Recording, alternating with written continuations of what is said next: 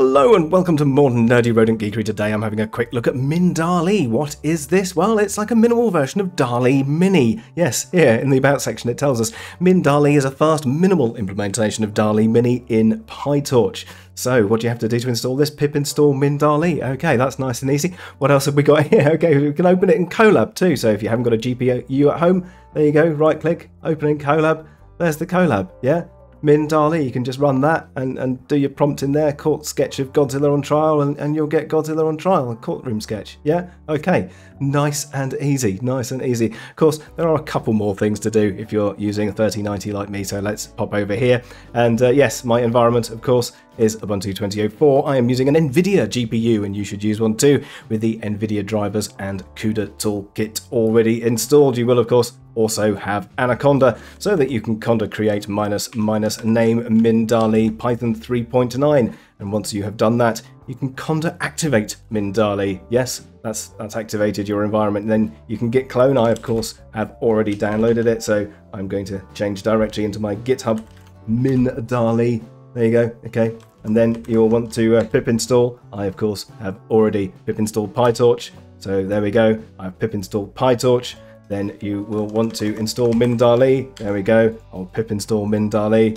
There, done. I have pip installed MinDALL-E. That's it. That's it. There you go. You've got it installed and you've got it running. Uh, now, you can, of course, use it in your code there. There's a bunch of code, but it also comes with a little command line tool. So we're going to scroll down here. There, command line tool. That's the one we're going to use there. So Python image from text.py. That's how simple this is. Let's do photograph of a cute badger drinking tea and eating Battenberg cake. Now, there's a couple of fun things on this. When you're running it, as you can see there, it does a little tokenizer. So you can see it's, it's sort of split Battenberg up into two things, but all right, fair enough. It does eventually know what a Battenberg cake is.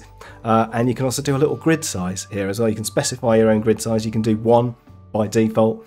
Uh, or you know th two three four so i'm doing four here so this will give me 16 images and by default it will go into the directory that you're running this from and it will be called generate. Now if we just have a quick look at the, uh, at the, the Python there, so image from text, there you go. There are a few arguments you can pass to it. You can pass it mega or no mega, so if you want DALL-E Mini, the mega model or not the mega model, uh, text, seed, grid size, image path, models root, and token count. Now it will of course download all the stuff for you by default and that will go into the pre-trained directory.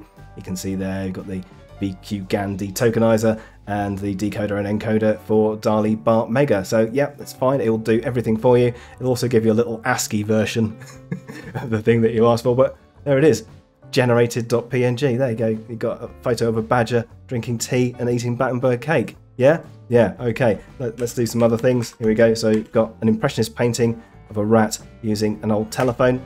Exactly the same sort of thing, but here I'm making it a smaller grid. So rather than having it 4x4, I've got it 3 by 3 and the image path it's going to save it to mouse.png instead of generated.png. Yeah? Yeah? Okay. Got a, different seed in there as well, so you get a slightly different image. So that that will again do the same sort of thing. Impressionist painting of a rat using an old telephone. does the text tokens, does all the sampling, and then it'll come out here in just a couple of seconds as mouse.png. Tra la la la la. waiting for art to be generated. There you go, mouse.png there.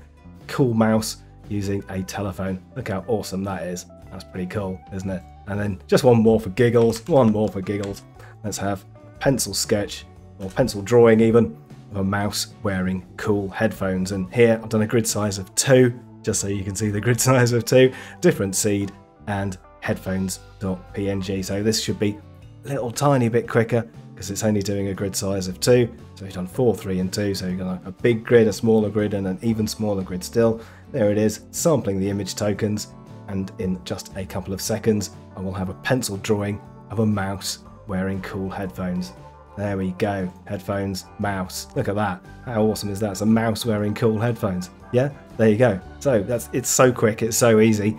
Miniature version of DALL-E Mini, Min DALL-E. There you go. You should go and play with it now. Yeah? Okay. Alright. Rodent out.